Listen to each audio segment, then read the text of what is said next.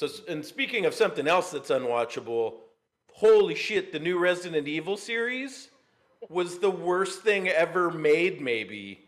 Like when I talked to you and you, I said, "Oh, you watched it? Is it any good?" and you were kind of like, "Eh." That didn't do it justice. This is the worst fucking thing ever. Like, it was. It, I mean, so it's funny because we literally what is it? We we binge watched it. Me and me and my girl. And uh, how far she- did you get? Oh, I passed out. She stayed up to watch the last two episodes, and she goes, "That was the biggest mistake. I wasted." Oh, you guys watched the whole life." series. She watched the whole. Yeah, we watched the whole. series. Holy shit. Yeah, That's out of control. yeah. I couldn't do a half an hour. it was. I- I mean, 15, 15 minutes in, I'm like audibly was like, whoo! oh no. And then in my head, I said, okay, push through, watch, be fair, push through and watch the whole first episode. Like just push through and watch the whole episode. And then I shut it off before the so first what, half an hour. What what exactly? So what exactly did you take from it? Like what? Oh my really God. pushed you? So a bunch of weird stuff too. Like you could see it had a budget, but they've decided to outsource all the acting is the best way to describe it. I think where it was almost like American uh, Western actors expensive, cheaper actors not in the West, which again is fine if those actors work like if they're good enough for the role, if they fit the role, if they know how to they just weren't good actors. Yeah. All the acting was bad. Every single every single role was bad acting. There wasn't one character that you could pick out and say they're doing a good job. It was all bad and all amateur hour across the board acting wise. It was like somebody was like, SAG actors are so expensive. Isn't there other actors that aren't SAG? And somebody was like, there totally is. There's a whole shitload of them over here. And they just hired a bunch of non SAG actors. The reason you're not a SAG actor is because you're not a good actor. Or somebody would have gave you, if you're a good actor, they would have gave you a speaking role in something and you'd have your SAG card.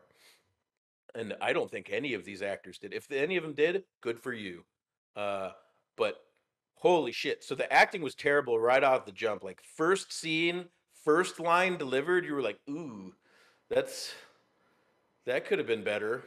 And then this the the the camera choices were really awful and amateurish. The set design was really weird and felt very again very early 2000s-y. It felt like what it felt like overall kind of the feeling was those first there was a moment in the early 2000s where sci-fi channel was making a whole ton of different shows. And some of them were good like firefly was in that mix Oh, yeah, during that time. and i forget the other one the name of the other one where the ship was alive and it ha- kind of had the sexy chick who was the computer or whatever uh, it went on for a lot a, a long time that one. Anyways there was this whole string of sci-fi shows and all of them were kind of like a little wonky and universal studios feeling ish where you could tell that they're really low budgets but uh, everyone was doing their best. And much better acting in any of those than in this resident evil garbage fire.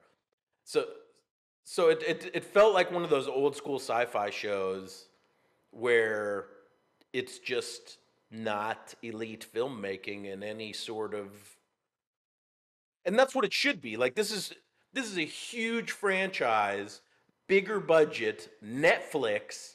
It should be elite filmmaking of the at least above a seven for everything for directing for acting for you, you need to at least be hitting that above average mark for a franchise this large on a platform as big as netflix.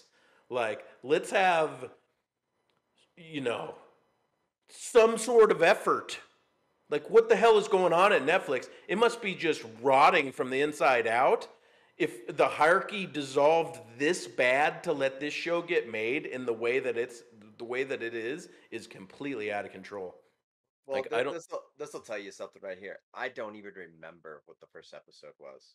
No, and and uh, that's that's mainly because horrible storytelling. They had all these parallel storylines going on that you just jumped into the middle of a story on all of them at different times within that Yeah, story. Different, different timelines. So, different so yeah, so for instance, you're telling a story like A to B these this character, and A to be this character, and A is a different starting point, and B is a different ending for each of these storylines. Yeah. There was five or six concurrent storylines going on, and you started at a different point in that timeline in every story with no context. Yeah. So all of a sudden you just jumped in and you're like, okay, this is happening, and then bad acting, bad acting, bad acting, and then you're out into the next storyline. You're like, okay, where are we now? So We're the biggest boat? thing that I heard, the biggest thing I heard was uh people were complaining about mainly the the kid actors. They were Yeah. whiny. This the They were terrible. Jade Jade was whiny. Like she just she they're like they're like you know Well, it's bad script writing as well. Like they didn't talk realistically. They didn't speak to each other how people would talk. They they they had like Will Smith style one-liners that they were delivering at times. And they tried to have all these epic moments that didn't come off as epic, instead just looked ridiculous. yeah. Also, the horde of zombies weren't even zombies. They were just a bunch of people running around with a zombie audio track over the top of it. If you noticed, they weren't zombies. They were just people running, and then over the top they did audio.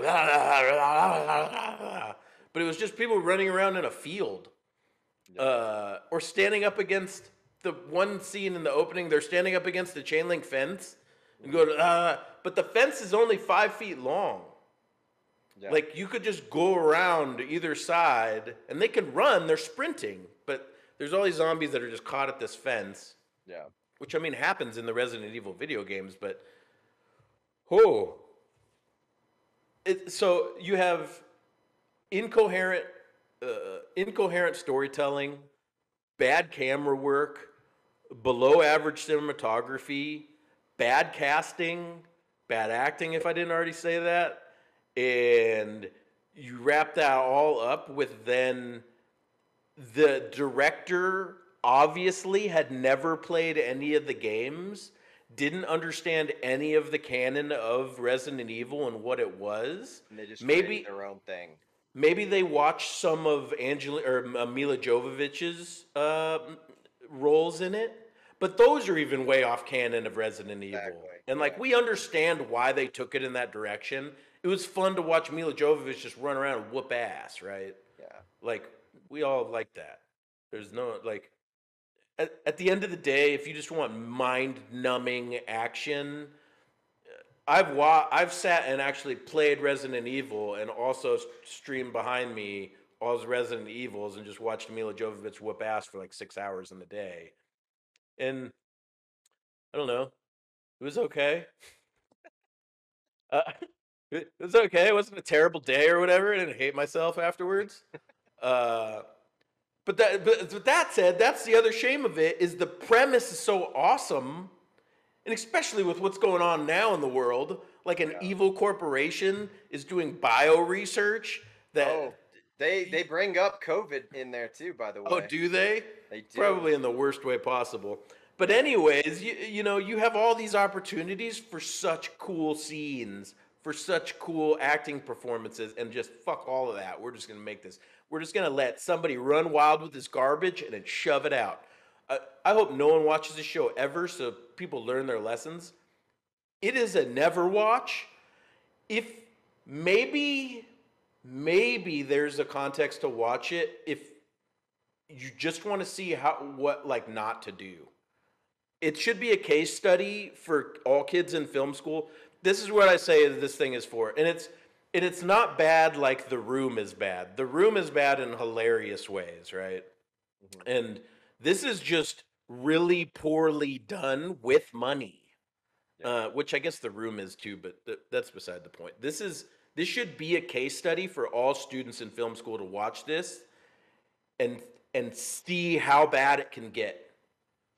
And it actually will make you this is the context to watch it. You should watch it for as long as you can. I don't know if anyone can get through the whole season like you did. That's out of control.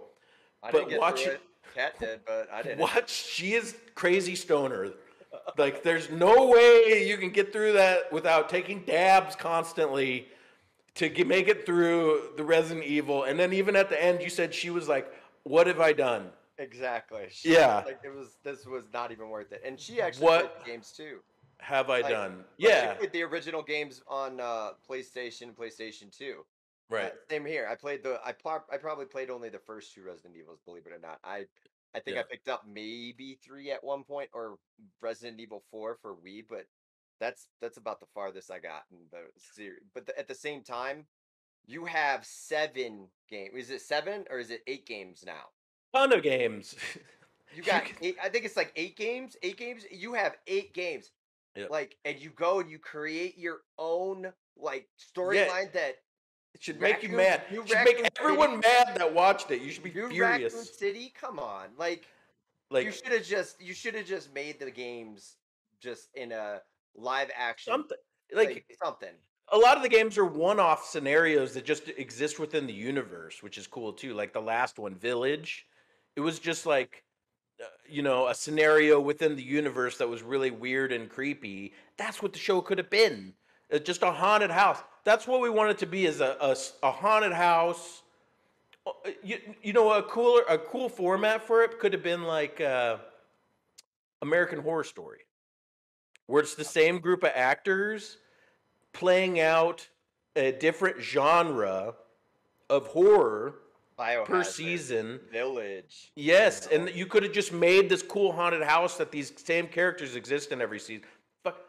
The, woulda, coulda, shoulda is goes forever from this because we're starting at zero. Absolutely, Absolutely. But but it maybe you watch it because then after watching that you'll appreciate how much how well made everything else is compared to that.